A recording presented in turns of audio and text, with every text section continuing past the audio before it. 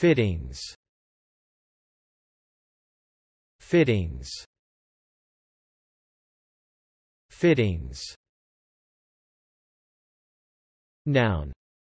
Definition. A small part on or attached to a piece of furniture or equipment.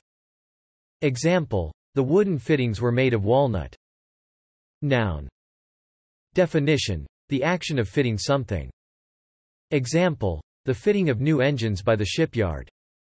Adjective. Definition. Suitable or appropriate under the circumstances, right or proper. Example. A fitting reward. Adjective. Definition. Fitted around or to something or someone in a specified way. Thanks for watching this video. Be sure to subscribe to our channel to get more free learning resources.